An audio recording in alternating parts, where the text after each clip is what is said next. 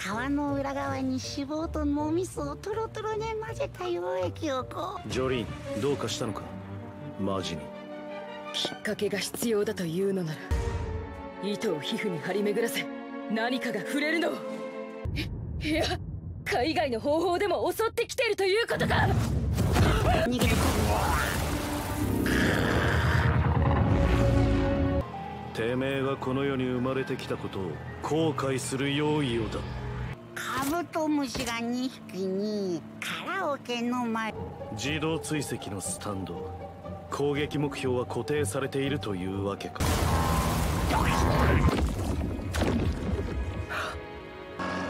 のボートを止めるべきかも。この飛び散ってるしぶき。はい。旦那様がそうしろとおっしゃるなら。ジョリーンどうやら攻撃が止んだようだぞまだボートのスピードを上げていないのにこいつが完璧な自動追跡型スタンドというならこいつの頭の中に。こんなことをしている場合じゃない。カエルみてにしょべちびってる。何なんだ？この懲罰暴動の光景は。尋問は無理です。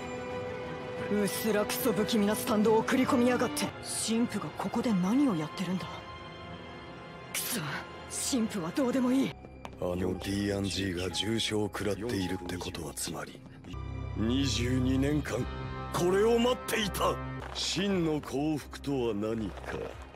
天国が手に入る。いいぞ。この感動を称えるのだ。よし。D&G は医療班に任せて手当ての後で尋問だ。よし。車を出すぞ。はい D&G を狙っていた。まさか投げたのは貴様は！死なれるのはとにかく困るんだ。ホワイトスネークの正体は！FF が最も恐れること。それは体が消滅することで扉の開閉の音にトイレの水の流れる音。今はわかる。生きるということは思い出を作ることなんだと以前のフーファイターズには私にはなかった感覚。一瞬考えたな。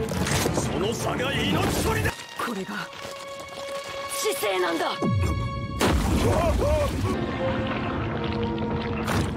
ババカだ。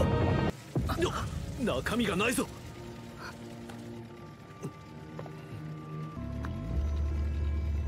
こいつは一体？フーファイターズを絶対に逃がすな！ディスクを記憶を読むのだ！表の水道まで行こうとしているのか？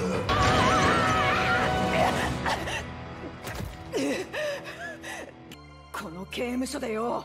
なあ質問したのはこっちだぞ。見失うことを。え動いたのか？早くもさあね。ジョリーンが余計なことをして見失うことだけが心配だ。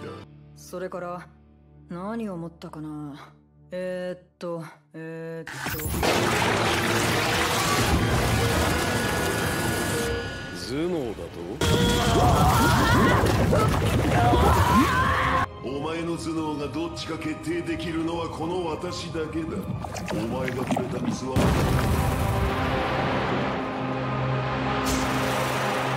どこだ？どこに落ちた？まさか溺れやがったのか？ジョリー！石が転がってきて岩になった。そしてジョリーン君は逆これはアルセイ落ち着けジョリー。ンジョリーンそこを動くなよ。その位置にいてくれ。いいか。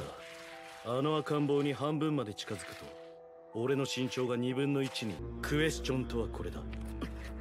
俺たちはあの赤ん坊にたどり着くことができるのか。集中力。かジョリーンの一つのことを見つめるあの集中力。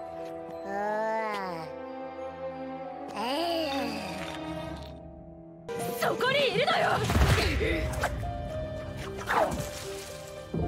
糸が